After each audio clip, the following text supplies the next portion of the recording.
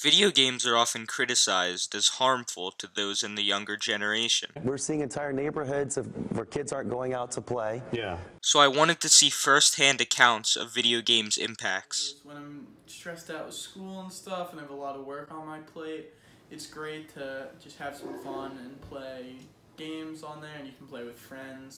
Video games have impacted my life for the better because if I'm just having a bad day, something going on in my life, come into this room, turn on my Xbox, play video games, and just kind of get my mind off everything. They're harmful if you play if you abuse them and if you play them like all day every day. I mean, it's not good for your brain to look at a screen for that long. But Allowing your kid to play video games for 8 or 9 or 10 hours a day is just simply bad parenting.